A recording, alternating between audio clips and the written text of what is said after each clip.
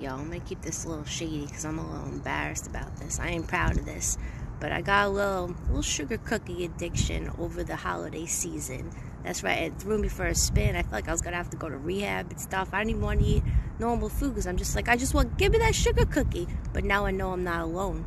Just walking off these damn sugar cookies and look what I found. Look what I found. Sugar cookies. You know, only a real sugar cookie fiend is gonna be taking a walk, eating the sugar cookies, and then discarded it on the floor like it's a cigarette. Are sugar cookies the new cigarettes? It's a real dirtbag drug addict move to be throwing your cigarettes and alcohol on the floor. I'm not gonna be ashamed of my sugar cookie habit anymore. I'm not gonna be ashamed. I'm coming out. I'm a sugar cookie addict. Oh my god, it's not just me. There's more sugar cookie addicts in my neighborhood.